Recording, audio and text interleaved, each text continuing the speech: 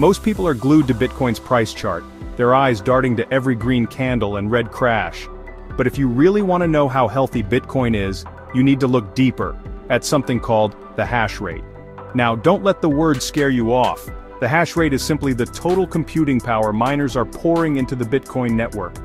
Imagine thousands of powerful machines all over the world burning electricity and crunching numbers, racing to solve cryptographic puzzles. Why? To validate transactions and keep the entire Bitcoin system safe. But here's what most people miss. The hash rate isn't just a technical number, it's the strongest signal we have about Bitcoin's security and future. Let's break it down. First, security. The higher the hash rate, the harder it is for anyone to pull off a 51% attack. That's when a group gets enough power to mess with the network. As the hash rate climbs, Bitcoin becomes more and more unbreakable. It's what keeps the system trustless, decentralized, and out of any one person's control. Second, network health. A rising hash rate means more miners are joining in, or they're upgrading their kit.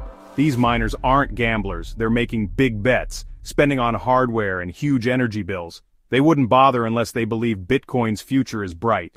Every time you see the hash rate tick up, that's a quiet vote of confidence from people with skin in the game. Third, it's an economic signal. Bitcoin's price jumps up and down like it's on a trampoline. The hash rate, though, it usually climbs nice and steady. Miners think in years, not minutes. Even during those brutal price crashes, if the hash rate stays strong, it means the network's not dying. It's actually toughening up, adapting, getting more resilient every cycle. And here's a cool trick.